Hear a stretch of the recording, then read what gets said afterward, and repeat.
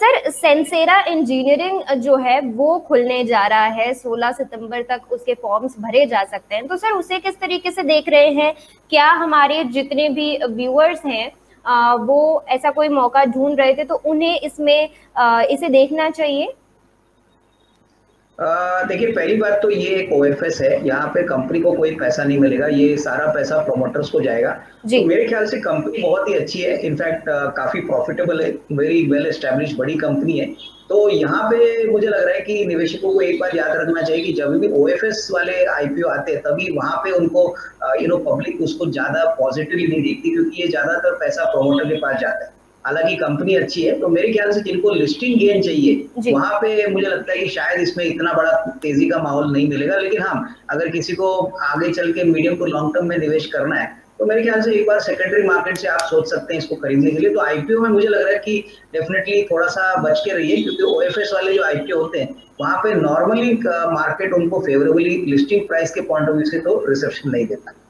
ठीक है सर और सर एमी ऑर्गेनिक्स को किस तरीके से आप देख रहे हैं? उसकी भी लिस्टिंग होने वाली है। जी। देखिए एमी ऑर्गेनिक्स एपीआई बनाने वाली कंपनी है और ज़्यादातर उनके जो क्लाइंट्स है वो काफ़ी वेल नोन है जैसे कि लॉरस लैब्स को वो सप्लाई करते हैं। हम्म। तो मेरे ख्याल से ये बिज़नेस बहुत ही अच्छी तरह से आने वाले साल में भी चलेगा। मार्जिन भी इंप्रूव होंगे और चाइना का फैक्टर बहुत अच्छी तरह से प्ले आउट होगा क्योंकि काफ़ी कंपनियाँ पहले चाइना से अपना रॉ मटेरियल एपीआई इंपोर्ट करती थी। तो ऐसी फार्मा कंपनीज़ अभी इंडिया को देख रही है। तो इसमें मुझे लग रहा है कि निवेशित रही है देखिए ये नई कंपनी है तो इसका कोई फाइनेंशियल ट्रैक रिकॉर्ड या क्वार्टरली नंबर अभी तक आया नहीं है। हम्म। मेरे ख्याल से तब तक होल्ड करिए। दूसरे तिमाही के नतीजे आएँगे उसके बाद मेरे ख्याल से प्रॉपर डायरेक्शनल व्यू स्टॉक को मिलेगा बट डेफिनेटली तेज़ी से ही स्टॉक यू नो आज खुलने की उम्मीद है।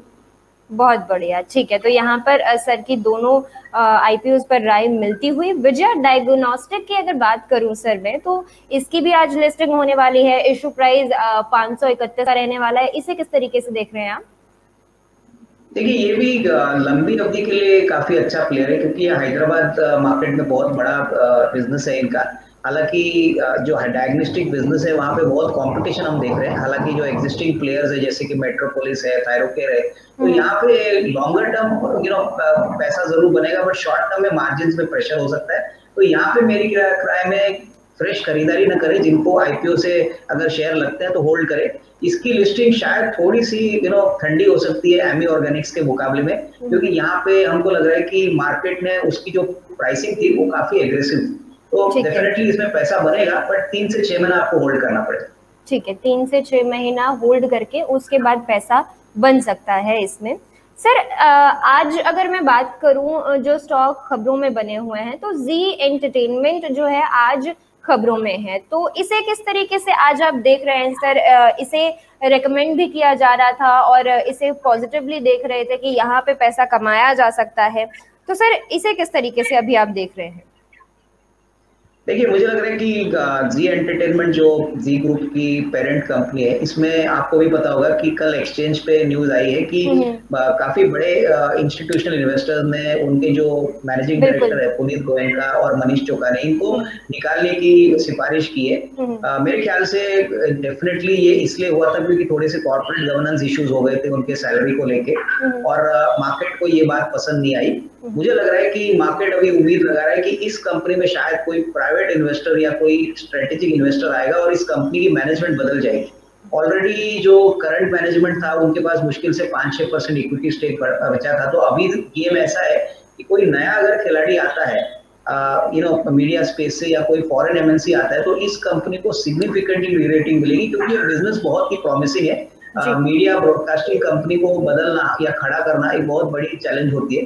तो इसलिए शायद स्टॉक ने आज बहुत ही अच्छा रिसेप्शन दिया है करीबन 20 परसेंट स्टॉक ऊपर है। और शॉर्ट टर्म में मुझे लग रहा है कि ये सिलसिला आगे भी बढ़ेगा। अभी भी काफ़ी पोटेंशियल है शॉर्ट टर्म में स्टॉक में बढ़ने के लिए। तो ये शेयर होल्डर्स के लिए और मार्केट ने बहुत पॉजिटिवली व्यू किया। इसलिए स्टॉक यू नो ऊपर रहे रहने की पॉसिबिलिटी रहे। बढ़िया ठीक है सर। तो इस पे राय लेना ज़रूरी हो गया था आज खबरों में बना हुआ। तो यहाँ पर सर जो है इस पर डाउट क्लियर करते हुए और स्टॉक अभी भी अच्छा ही